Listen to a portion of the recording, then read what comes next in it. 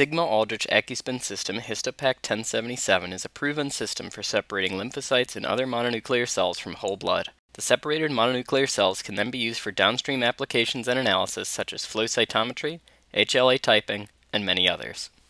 The effectiveness of the AccuSpin system Histopaque 1077 is due to the AccuSpin tube which is specifically designed with two chambers separated by a porous, high-density polyethylene barrier, or a FRIT. Anticoagulated whole blood may be added to the top chamber of the tube without risk of mixing with the Histopaque 1077 in the lower chamber under the FRIT. On centrifugation, the whole blood descends through the FRIT to contact with the Histopaque 1077. The elements of greater density displace a volume of Histopaque 1077 above the frit, giving a clear separation of the blood components. The erythrocytes aggregate and the granulocytes become slightly hypertonic, increasing their sedimentation rate and resulting in pelleting at the bottom of the AccuSpin tube. Lymphocytes and other mononuclear cells remain at the plasma Histopaque 1077 interface. This dense band of mononuclear cells may be collected by pouring off the contents of the upper chamber or by means of a pipette. Erythrocyte contamination is avoided due to the barrier between the chambers. Hi, I'm Carrie Cup-Inyard and I'm a scientist at Sigma Aldrich in St. Louis, Missouri. Today we will show you a procedure for isolating lymphocytes and other mononuclear cells from whole blood and bone marrow using the Sigma AccuSpin system Histopaque 1077. This system simplifies whole blood processing, increases lymphocyte recovery, and is ideal for clinical trials and research studies. So let's get started. The AccuSpin product line includes five different kits. Each kit is unique based on separation capacity, inclusion of Histopaque 1077, and a number of polypropylene radiation sterilized tubes fitted with a high density polyethylene barrier included. Product A1805 includes 20 12 milliliter sample tubes, each fitted with a high density polyethylene barrier secured at the 3 milliliter mark.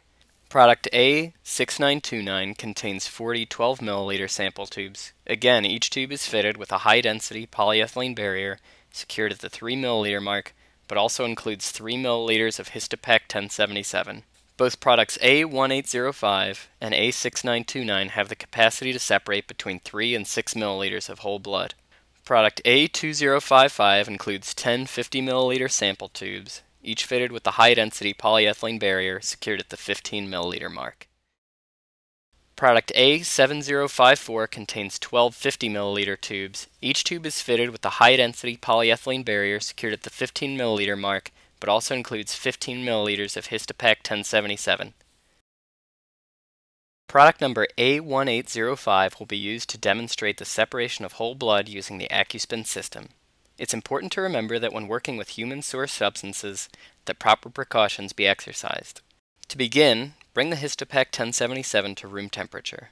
Once at room temperature, pipette 3 milliliters of Histopaque into the upper chamber of each of the 12 milliliter AccuSpin tubes.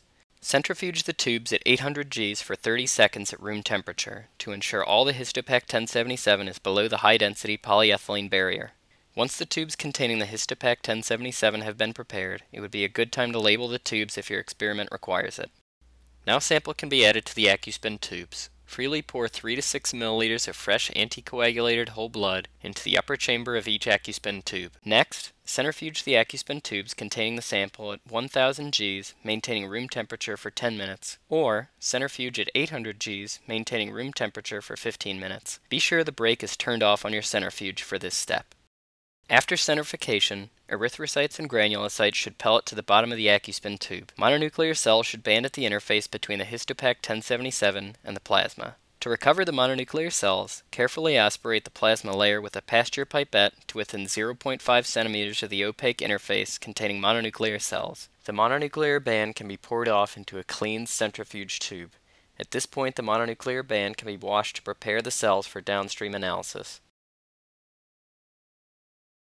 The AccuSpin system Histopaque 1077's unique design greatly increases the yield of lymphocytes and other mononuclear cells compared to using Histopaque 1077 alone, as this example shows. Within seconds of adding whole blood to the tube containing Histopaque alone, the whole blood begins precipitating into the Histopaque 1077 while in the AccuSpin tube, the blood in the Histopaque 1077 remains separated until centrifugation begins. The technical bulletin for the AccuSpin system Histopaque 1077 contains a number of useful tips for maximizing mononuclear cell recovery from whole blood and bone marrow. We've just shown you how to use the Sigma AccuSpin system Histopaque 1077 to isolate mononuclear cells from whole blood. When doing this procedure, it's important to remember that both the blood and the Histopaque 1077 be at room temperature. Also, make sure that the brake on your centrifuge is turned off. So that's it. Thanks for watching and good luck with your experiments.